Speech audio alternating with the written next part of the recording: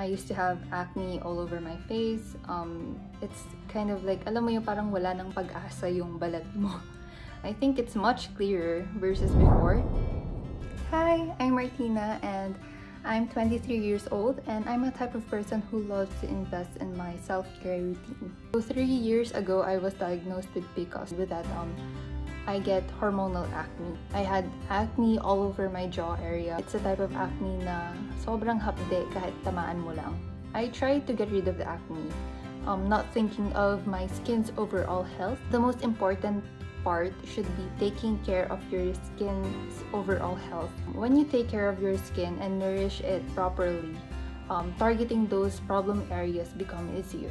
Um, until I found um, this local brand um, called Balanse Skincare. What I loved about this skincare brand is they put um, gentle ingredients, no toxic chemicals in their products, all gentle, good ingredients that you should be putting on your skin.